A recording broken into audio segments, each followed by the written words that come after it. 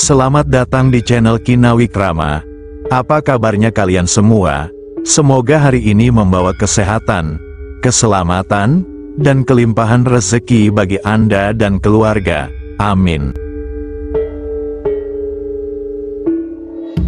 Assalamualaikum, salam sejahtera, Om Swastiastu, Rahayu, Rahayu, Rahayu. Pada video kali ini saya akan mempersembahkan ulasan mengenai beberapa hal yang menjadi tanda atau ciri bahwa panjenengan adalah seorang titisan leluhur sakti dan berilmu tinggi. Ketika seorang leluhur sakti sudah tiba waktunya untuk meninggalkan dunia ini, maka semua kesaktian dan ilmu yang dimilikinya sebenarnya tidaklah ikut sirna dengan kepergiannya tersebut. Ilmu dan kesaktian leluhur akan mewujud menjadi suatu bentuk energi dan menunggu di alam semesta ini, entah itu dengan mengambil wujud suatu hodam, pulung, dan lain sebagainya. Energi itu akan menunggu hingga waktunya tiba untuk masuk ke dalam salah satu dari keturunan leluhur sakti tersebut. Entah itu keturunan yang memiliki energi yang mirip atau selaras dengan energi leluhurnya, atau mereka yang sudah disepakati dalam perjanjian antara leluhur dan entitas yang menjadi sumber kesaktiannya. Jika panjenengan adalah benar seseorang yang menjadi titisan leluhur sakti dan berilmu tinggi, maka panjenengan pasti sedikit banyak akan mewarisi beberapa atau minimal satu dari ilmu dan kesaktian para leluhur berikut ini.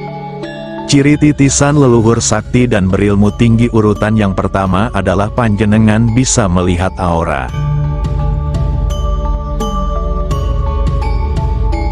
Aura merupakan energi yang berupa kilatan cahaya dan memiliki warna tertentu yang nampak di sekeliling tubuh manusia, hewan, tumbuhan, bahkan makhluk halus, dan benda-benda yang memiliki tuah kesaktian tertentu. Jika panjenengan bisa melihat aura, maka setelah beberapa waktu dan terbiasa, panjenengan akan memiliki kemampuan yang dinamakan dengan aura reading, atau membaca aura. Panjenengan akan tahu kondisi mental dan fisik seseorang hanya dengan melihat auranya saja. Seseorang yang menguasai ilmu ini dengan baik akan tahu jika ada orang yang sedang menyembunyikan perasaan darinya. Misalnya, jika ada orang yang diam-diam suka atau bahkan yang ingin berniat jahat kepadanya. Ciri titisan leluhur sakti dan berilmu tinggi urutan yang kedua adalah panjenengan memiliki sentuhan sebagai seorang penyembuh spiritual, atau istilah kerennya adalah spiritual killer. Tanda dari kesaktian leluhur yang satu ini sangatlah mudah dikenali. Yaitu, ketika panjenengan menyentuh atau memeluk seseorang yang sedang galau atau sedih, maka orang tersebut akan terlihat menjadi lebih tenang dan bisa menguasai emosinya. Hal lainnya yang bisa diamati dengan mudah adalah jika panjenengan merupakan orang yang sering dijadikan tempat curhat oleh teman atau bahkan orang asing. Dan setelah curhat dengan panjenengan mereka akan terlihat lebih lega seolah terlepas dari himpitan dan beban yang memberatkan mereka. Kemampuan sebagai spiritual healer ini biasanya juga akan berkembang menjadi natural healer, atau seorang penyembuh dengan menggunakan media energi alam. Tanda sebagai seorang natural healer bisa terlihat ketika panjenengan menempelkan telapak tangan kepada orang lain, telapak tangan panjenengan akan terasa lebih panas atau lebih dingin dari telapak tangan orang normal. Bahkan ketika mendekatkan telapak tangan tersebut beberapa senti dari tubuh orang lain terkadang akan terasa seperti ada pusaran angin kecil. Energi dari alam semesta ini akan bisa diolah dan dipergunakan untuk menyembuhkan berbagai macam penyakit, baik yang memang berasal dari masalah medis, ataupun yang bukan medis. Ciri keturunan leluhur sakti dan berilmu tinggi urutan yang ketiga adalah panjenengan memiliki kemampuan komunikasi dengan menggunakan kekuatan pikiran atau biasa disebut dengan telepati.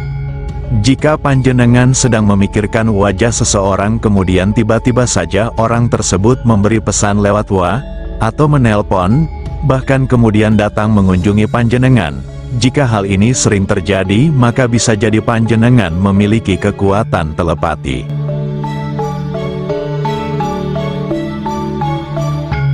Contoh lainnya, misal panjenengan pada suatu hari sedang sangat ingin makan sate, sehingga yang ada di pikiran panjenengan hanyalah ingin makan sate saja.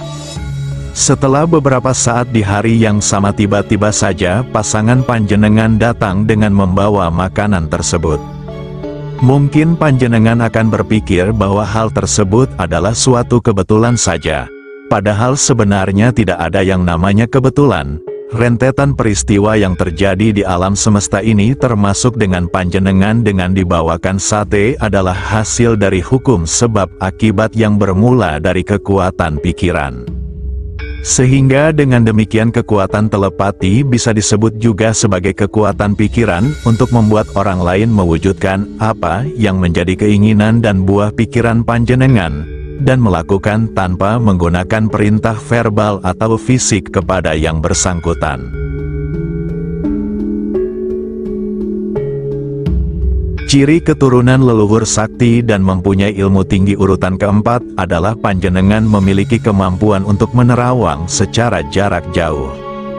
Kemampuan ini pada mulanya akan datang sebagai mimpi ketika sedang tertidur, dalam mimpi tersebut panjenengan akan bisa merasakan bahwa segala sesuatu yang terjadi sangat terasa nyata.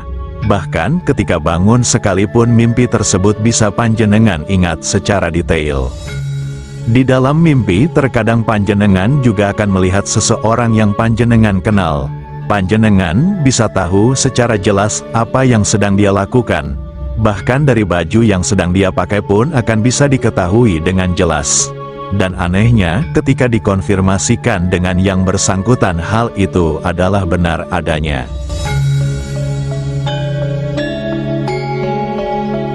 Jika kemampuan ini panjenengan asah dengan baik, maka hanya dengan fokus saja panjenengan akan bisa menerawang lokasi dan orang yang berada di jarak jauh secara sadar tanpa harus melalui mimpi terlebih dahulu.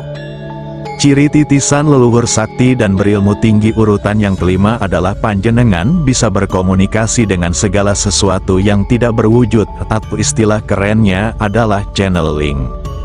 Selain bisa berdialog dengan para entitas halus melalui channeling, panjenengan akan mampu mengakses berbagai informasi dan pengetahuan yang lebih tinggi yang ada di alam semesta ini. Itulah sebabnya seorang spiritualis terkadang memiliki kalimat dan ucapan yang sulit dipahami oleh orang biasa. Kemampuan ini pada dasarnya memiliki prinsip kerja yang sama dengan radio, yaitu untuk mencari dan menyesuaikan frekuensi, sehingga kita bisa mendengar lagu atau apa pun yang disiarkan lewat radio tersebut. Ciri titisan leluhur sakti dan berilmu tinggi urutan yang keenam adalah panjenengan memiliki energi yang selaras dengan energi elemental. Elemental adalah makhluk astral yang bertugas untuk menjaga bumi dan segala alam yang ada di dalamnya. Biasanya elemental ini dibedakan menjadi empat golongan yaitu elemental tanah, elemental air, elemental api, dan elemental udara.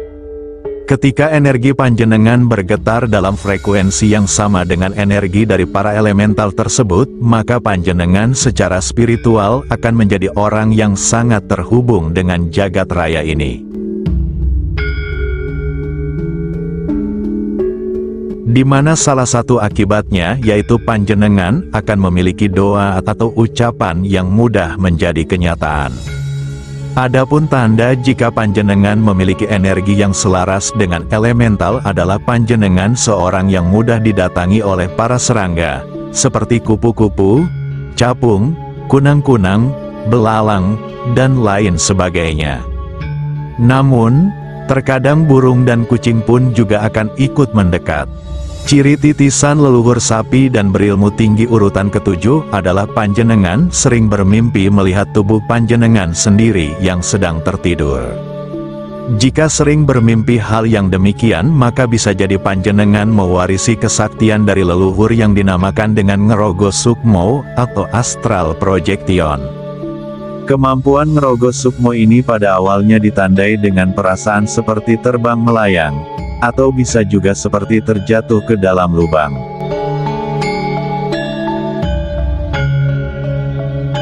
Jika panjenengan bisa menguasainya, maka akan memiliki kemampuan untuk bisa pergi secara astral menembus ruang dan waktu. Ciri titisan leluhur sakti dan berilmu tinggi urutan yang kedelapan adalah panjenengan sering mengalami apa yang dinamakan dengan kesetrum gaib.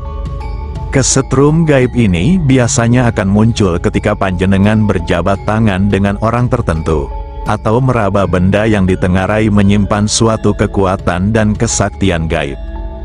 Kesetrum gaib ini merupakan bentuk kesensitifan panjenengan dalam merasakan energi halus yang lainnya, dan hanya dengan merasakan energi tersebut panjenengan mampu membaca masa lalu atau masa depan. Misalnya hanya dengan melihat dan menyentuh telapak tangan, panjenengan bisa mengetahui bagaimana masa lalu dan masa depan dari orang tersebut. Atau juga hanya dengan menyentuh sebuah benda, panjenengan bisa melihat kejadian yang terjadi di sekitar benda tersebut di masa lampau, dan semua hal tersebut muncul begitu saja tanpa harus belajar sedikitpun. Dan demikianlah ulasan kita kali ini mengenai delapan ciri titisan leluhur sakti dan berilmu tinggi. Semoga video ini bisa menjadi penambah pengetahuan dan membawa manfaat bagi panjenengan semua. Terima kasih sudah menonton sampai selesai. Wassalamualaikum warahmatullahi wabarakatuh.